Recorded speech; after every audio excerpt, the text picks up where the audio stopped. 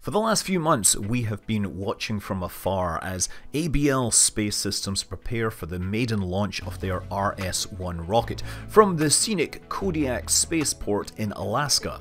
They've been pretty secretive about it and there have been several attempts which were ultimately shut down, but this week they made a launch attempt and actually released this footage. Unfortunately, they only gave us a very small clip, because apparently the rocket only flew for a few seconds. We're not clear on how few seconds, so I did some analysis. I looked at how fast the rocket accelerated off the pad at about 1.2 g. I took this other image they released and knowing the length of the rocket was 88 feet, I was able to conclude it was about 450 feet off the ground, and figured out it failed after about 12 to 13 seconds and crashed back onto the pad after about 20 seconds of total flight time. And we think we can make out a burned area of vegetation near the pad in Landsat images.